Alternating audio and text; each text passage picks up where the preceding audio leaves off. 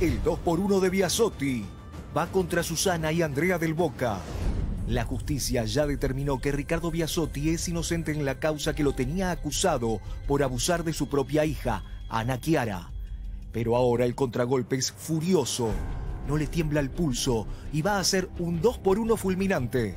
Va contra Susana y contra la mamá de su hija. Estamos hablando del contraataque de Ricardo Biasotti contra eh, la madre de su hija, contra Andrea del Boca, contra el abogado de Andrea del Boca, que también en un momento dice Biasotti que lo amenazó. Dijo, si vos seguís insistiendo con esto, yo te voy a tirar todos los medios en contra. Y también Susana Jiménez, porque Susana Jiménez en su programa eh, se sumó a esto, lo dio por hecho, eh, se- estaba con Andrea del Boca en el estudio. La verdad que es inconcebible. ¿Vos nunca notaste cuando saliste con él que era medio así desviado, loco? 36 minutos en donde se lo trató de abusador, violador, violento, loco. Viene mi hija de nueve años y me dice que el padre la manoseó.